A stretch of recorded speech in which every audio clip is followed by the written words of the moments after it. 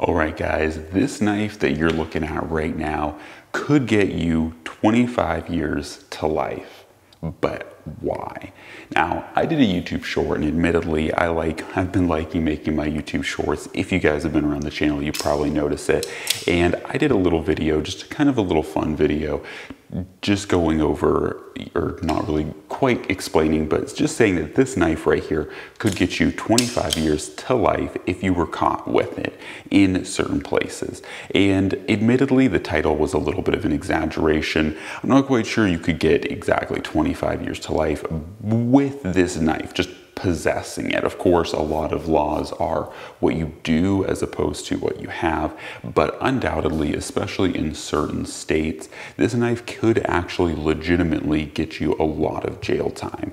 And today I want to do a video, like a full length video going over what this knife is, why it is that way, and kind of explaining why knife laws are dumb. Because I've been watching a lot of um, knife videos by fellow knife tubers, and they've been talking about, you know, top five illegal knives. Even I've done some of the same kind of things because I think it's kind of fun. But really explaining in this video, uh, or what I wanted to do in this video is really explain what that exactly means because I feel like no one in the knife community has really talked about knife laws, how they came to be, and ultimately, you know, breaking it down. So first off, let's start off talking about what this knife is. What you're looking at here is kind of a relic of the past. A lot of people that are new to the knife industry don't really know what this knife is, but you guys who have been around for the past probably like 10 to 15 years probably do know what this is.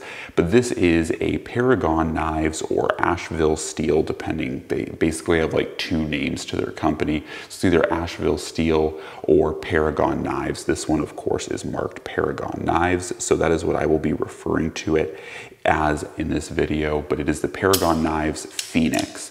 Now, the more popular, or I should say the brother to this knife, was a bit more popular back in the day, the Paragon Warlock. And believe it or not, they have actually, Paragon um, Knives still does make this knife. They've updated it, um, given it a little bit more um, up-to-date features. They've updated the steel. These original ones are in CPM S30V, so they're a little bit older, um, but these guys can actually still be found. They, once again, like many gravity knives, they never really, really caught on, but essentially from a legal format, this is basically the same thing as the Riot or Reate, whatever you want to call them, Exos or EXO-M, you know, like the Exo family of uh, blades.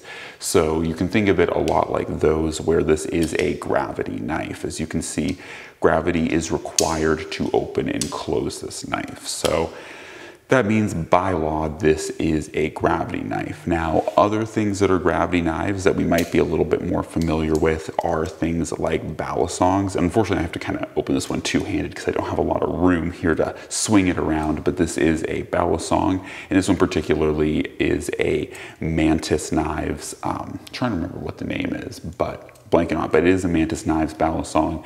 And so that is what this guy is. And once again, the balisong, just like every balisong, requires gravity to open and close it. So these two are legally the same thing.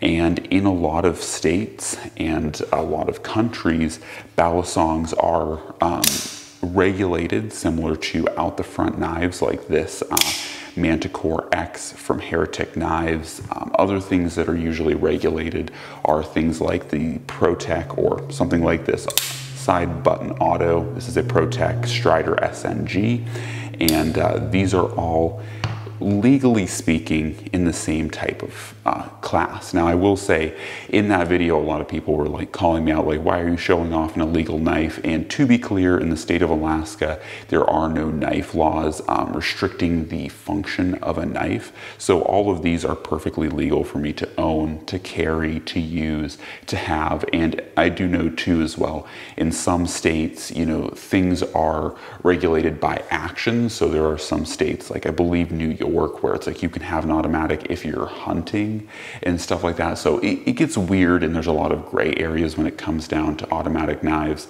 um, and gravity knives and stuff like that. But needless to say, um, all of these laws against knives are pretty darn useless. But how did we end up this way? Like, how did we get these laws? Of course, we didn't just start a country back in 17, you know, 1770s, 1780s with these weird knife laws. Of course, automatic knives didn't exist. Heck, the first pocket clip on a knife didn't exist until like 1981. So, you know, how did we get to this point where like these knives that you see here are regulated or banned or could get you, you know, years in prison and felonious charges in you know, like the court system. So essentially, um, when I started digging into it, um, like I said, you know, a lot of knife like um, like a lot of pocket knives and stuff, we kind of live in this weird time where if you're new to the knife industry, you know, things like pocket clips, wave openers, stuff like that, that's all commonplace on many knives today, really weren't and honestly were not that common even just 20 to 30 years ago. Like I said, Spyderco was the first company to patent a pocket clip, like a pocket clip on a knife um, back in 1981. So given that time when a lot of the law laws that affected knives came into play, the knife industry was a very, very different world. And a lot of what you saw as far as knives go were things like, you know, classic slip joint knives like this that required two hands to open, and things like the Buck 110, Buck 112 were kind of your standard like EDC styled knife, if you even carried that. So the knife climate when knives were you know, kind of getting regulated was a very, very different climate than what we have today, where we have a lot of, you know, high speed, low drag kinds of knives that um, are a lot more user friendly. Anyways, the a lot of it was essentially much like gun regulation. A lot of knife regulation came through sense, sense. How should I say this? Sense, sense.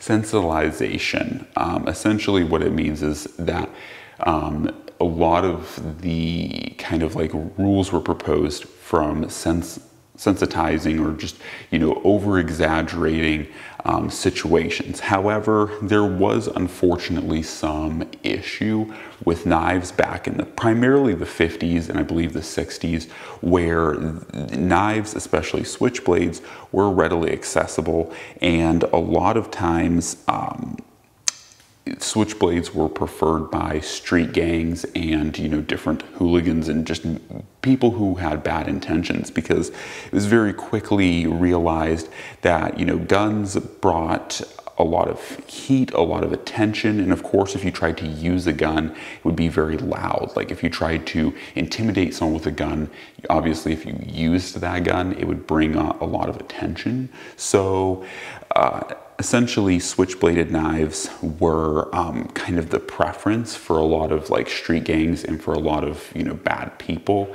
um, back in the 40s 50s and 60s because you could go up to someone say like hey i want your wallet you know you could hit a button the blade comes out. It looks scary it looks intimidating and a lot of these you know people who had violent intentions could you know just do this and have a blade that looked or appeared scary to someone who is ill-informed and get what they want. So there is some degree of rationale to it, or at least why um, you know different local, state, and federal governments um, or uh, agencies seek to ban these style of knives. They were intimidating knives to people, and once again, these types of uh, knives here are a little bit less aggressive, but the types of knives like stilettos and switchblades that were used back then, you know, they had an image, and to the general public, they seemed scary. Now, once again, you know, it's one of those things where it didn't like it was a lot of in my opinion and kind of what you can see is you know a lot of these regulating officials were trying to make their actions look right or trying to say hey you know look at me i've helped reduce or fight crime by introducing these types of regulations. So a lot of times these different um, so a lot of times the people in these states that helped push these regulations were really just trying to advance their own careers at the cost of people like you and me who want to own knives that are, you know, things like balisongs, things like gravity knives, automatics, and even though we don't have any bad intentions, much like why we own firearms, you know, the vast majority of people own firearms because they enjoy the act of shooting firearms safely and responsibly. The vast majority of knife owners enjoy owning knives so that they can use them safely and responsibly. However, like I said, one bad apple does ruin a bunch, and that's kind of what happened. And so ultimately, like I said, in the late 1950s, um, you know, there were this kind of like iconic image of, you know, like greasers, which were, you know, essentially the kind of gang members of the time in a lot of your um, cities who, like I said, predominantly did use um, knives, primarily for intimidation. I don't really think a lot of these people were running around stabbing people. I mean, obviously, if someone pulls out a knife, they can stab someone. I'm not going to say that they would never do it, but I think a lot of what gave switchblades their kind of bad rap was the fact that to someone who is uneducated, you know, that very snap, that fast deployment. Like what a lot of people don't understand is that this blade is no more or less dangerous than say, you know, this blade here. It's just that one of them is drawn out of a sheath and is not that scary and the other snaps very quickly into place, right? So I think there's like a lot of uh, intimidation to the generalized public about the appearance of the knife, but nonetheless, it was made in 1958. Um, a federal, or the Federal Switchblade Act was uh, enacted in 1958, and that of course regulated on a federal level the possession, ownership, manufacture of automatic blades, of course, switchblades, gravity knives, all of those such things. So unfortunately, that does exist. Now, of course, with any federal law, much like, you know, um, different federal laws like on marijuana and such, the state level ultimately gets to decide and have the end say so. So like at the federal level, you know, these knives are, all of these knives you see here are illegal, but in my state, the state of Alaska, none of these knives are illegal to own here. Now, once again, that does change. If I was to, you know, drive through Canada, these knives would definitely be illegal in Canada. If I was to, you know, drive to different states in America, the laws do change. So you do have to keep in mind, uh, or keep that in mind, that you know some of these knives here may not be legal, um, but you know, that is unfortunate. Like I said, in my opinion, I think a lot of it comes back to a kind of posturing and helping grow people's careers in the legal regards because unfortunately with a lot of especially things like judges you know how judges uh, stay in their careers or become lifelong you know judges themselves is by passing and helping ratify laws that end up you know fighting crime, but realistically don't fight crime. Because honestly, if you know a bad person wants to get their hand on any of these knives, you know they can find their way to you know get get their hands on a crappy Chinese, you know, automatic knife or balisong or gravity knife, like all of these things exist and can be gotten for the right price and in the right places. So unfortunately, much like many gun laws, you know, knife laws and knife restrictions definitely have not shown any statistical bearing on reducing the amount of stabbings that happen in this country. And ultimately too, it's, it's not a particularly high statistic, though higher than gun violence. anyway, anyways, um, you know, like these, these laws don't show any proof. And honestly, like nine times out of 10, most people who truly stab people or truly like attack people with knives are going to use something more like this fixed blade here.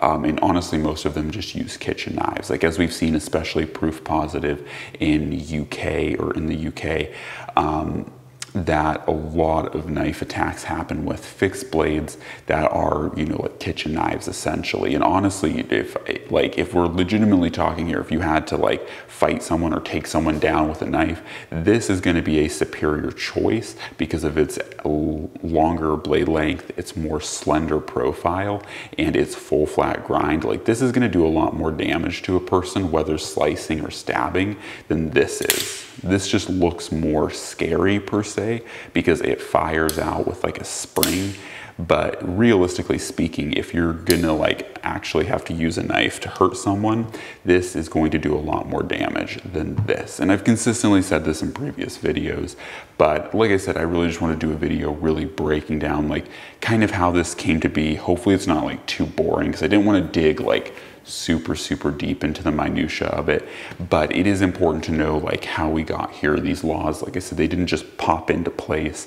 And there are different organizations out there that do fight for um, knife laws or loosening the restrictions. And luckily i will say um, ever since i've been in the knife world and i've been doing this since about 2011 um, i have seen a lot of um, knife laws loosen up even in my own state. I believe it was in 2012 2012 or 2011 when the um, governor passed the law to remove all knife restrictions, like, you know, the different knife function restrictions. So you could have balisongs, automatics, and everything like that. And it wasn't too long after that, then you could actually walk into a place like Sportsman's or Cabela's or, you know, um, Bass Pro, and you could buy automatic knives just like that. So it was really cool to see um, in my own state, um, but I've also seen in many other states over the course of the years, um, places like Arizona and such have done away with knife restrictions. So it is really cool to see that happen for other people because like I said, at the end of the day, like all of these blades here, whether it's something like the Mantis Fly Switch, whether it's something like, you know, this ProTech or the Spyderco, like they all are knives. They're all capable of doing about the same amount of physical damage all of these are dangerous in the wrong hands. So a lot of people too, I think, were also spreading some misinformation in my YouTube shorts that these knives were banned because they were dangerous and they were causing too many like injuries and stuff. That's absolutely not the case. And I don't think that would be the leading reason for being banned. Like I said, a lot of it really comes back to, you know, politicians and um, judges and such trying to advance their own careers by banning um, knives and subsequently making more criminals or taking criminals off the street, as they say, even though a lot of these knives were, you know, not really actually the culprit to